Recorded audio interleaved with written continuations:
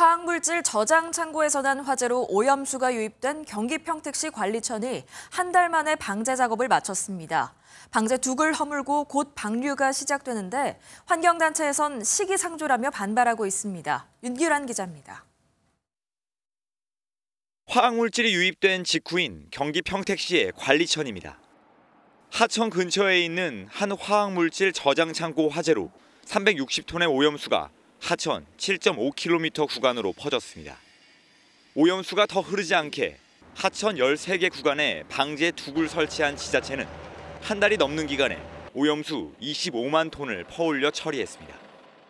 오염물질로 파랗게 변한 물은 다시 원래의 하천 색으로 돌아왔습니다. 특정 수질 유해물질과 생태 독성, 색도 등 모든 항목이 관리천 오염 하천수 수질 개선 목표를 충족하고 있습니다. 환경부가 방제 작업을 마무리했다고 공식 발표하면서 하천 오염 구간 지자체인 평택시와 화성시는 방제 두굴 차례로 해체하기로 했습니다.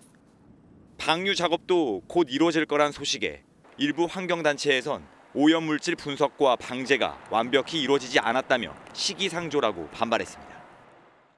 아직도 화성시 양감면 사업장에서 어떤 화학물질이 보관되었었고 어떤 화학물질이 하천에 흘러 들어와 있는지 정확하게 알지 못한다.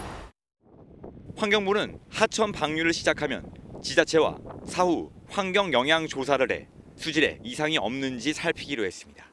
MBN 뉴스 윤기란입니다.